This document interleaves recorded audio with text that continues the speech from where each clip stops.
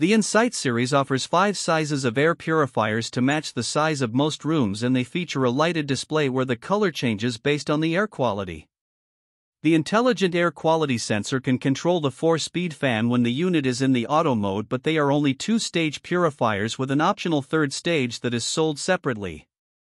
The units can be purchased directly through the Honeywell store website as well as on Amazon, and they are backed by a very good guarantee, but the brand does not provide the noise testing data for the purifiers.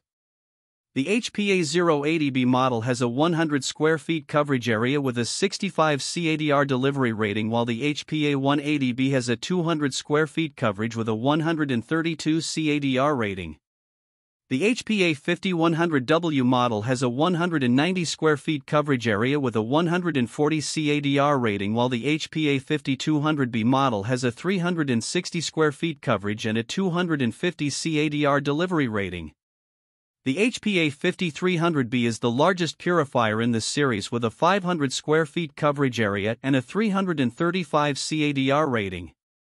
The HPA 020B model is a two stage tabletop model with a 63 CFM delivery rate and a 90 square feet coverage area. This brand receives an overall 3 star budget pick rating from HVAC Repair Guy. Please share your experiences with this brand in the comments section of the HVAC Repair Guy YouTube channel.